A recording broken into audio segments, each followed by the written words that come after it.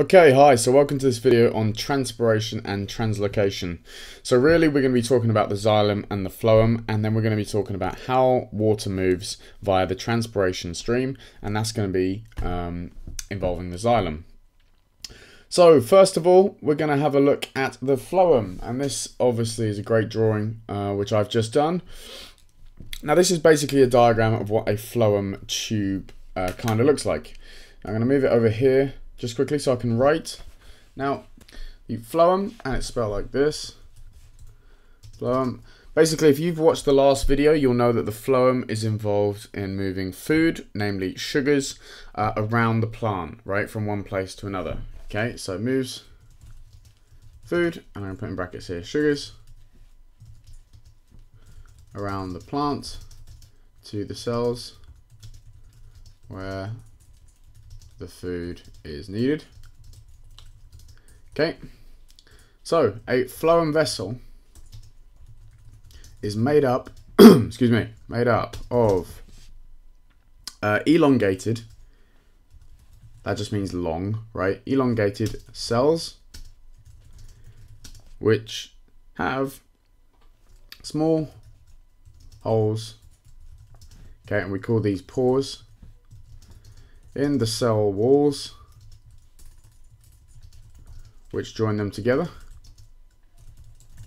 Okay, if we have a look at the diagram, and I'm just to swap color. We have a look at the diagram, that's what we see here and here, right? So these um, things here are basically the cell walls, and there are pores in those cell walls, right? Kind of like this. Blah, blah, blah allowing things to move either this way or to move the other way, right? So it could move like that or it could move like that. And those things that are going to be moving, they are going to be sugars. So you could have a sugar, let's pretend that sugars are red, even though they're not.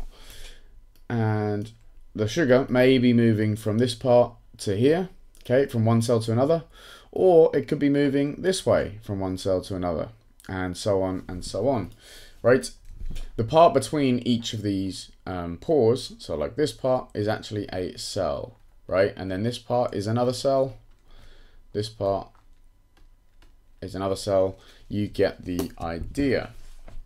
Now the point here is that translocation is the process by which that the food is moved. Okay, so the movement of these, um, I'm going to say molecules, right? Because that is basically what they are.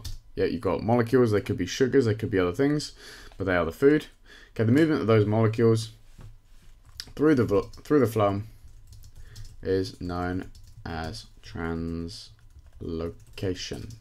Okay, this occurs in both directions. Okay, that's very important because that is one of the distinguishing features between the phloem and the xylem. Cool. So, speaking of xylem, we're going to move straight on to an even better drawing of a xylem vessel. Right? Notice I've gone in so much detail, it's even a different color. So we have xylem. Now, what did we say the role of the xylem was? If you think back to the last video, the role of xylem is to move water and minerals from the roots to the rest of the plant. Okay, so it moves water and dissolved minerals from, not form, from the roots to the rest of the plant. Okay, cool. Now, if we are to look at the xylem tube, right, over here, you'll notice that it's very similar in terms of it's been split up into sections, okay, but the splitting of these sections is not quite the same. So if we go back up here, you'll see that the dotted lines around here are complete. It's like a full, um, it's a full cell wall in between those cells. Now I've drawn the dotted line a lot thinner here and haven't completed it because there is actually no cell wall in between these cells, right? These are cells, but they are dead, okay? They are dead cells. Okay, they are not alive anymore. Um, they aren't carrying out any kind of living process because they are actually dead cells. Now, these uh, have holes, okay, um, joining them. So rather than pores in a cell wall, the cell wall is no longer there. Okay, so cell wall, I'm just going to write here, cell wall no longer present. Right, I'm going to write that more neatly when I type.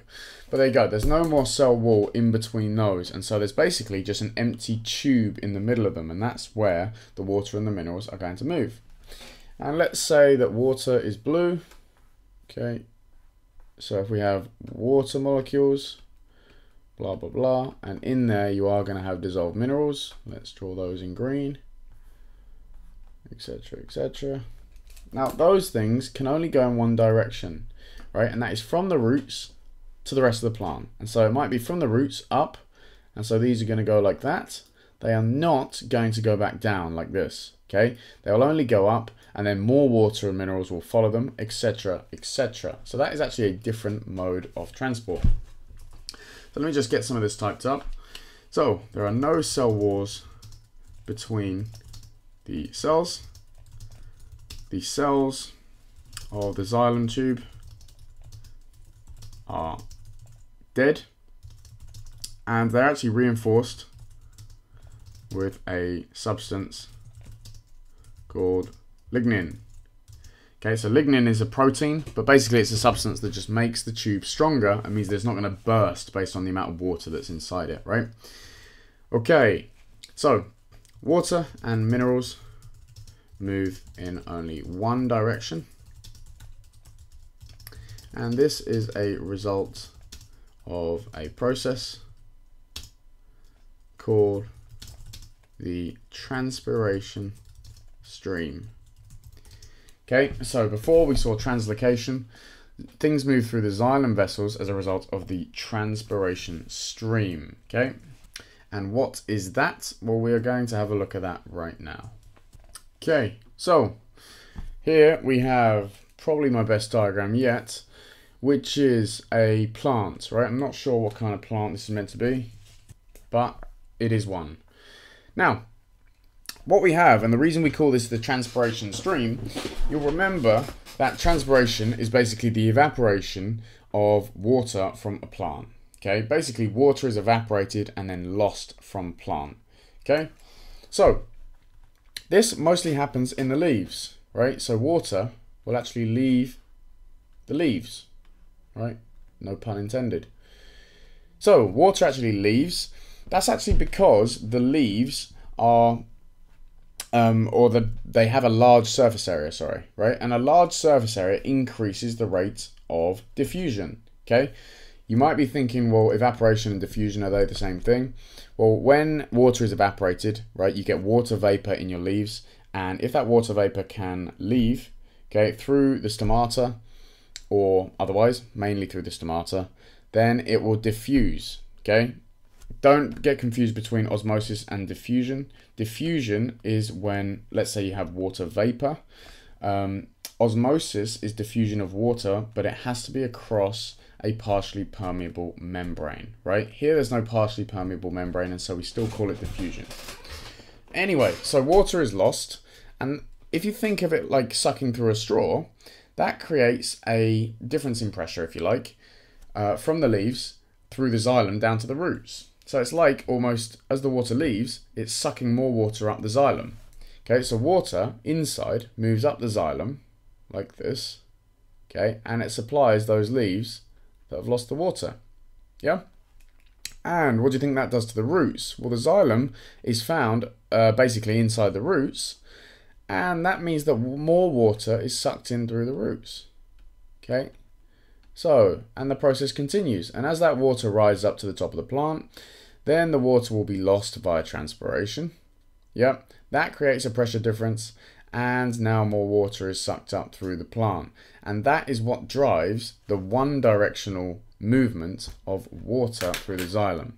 Okay, so, and minerals obviously, right? So basically, up, let's say that this is where the leaves are, right? And then transpiration occurs and this is lost, okay? This causes more to be sucked up from the bottom. Yep, and then it's lost and etc, etc.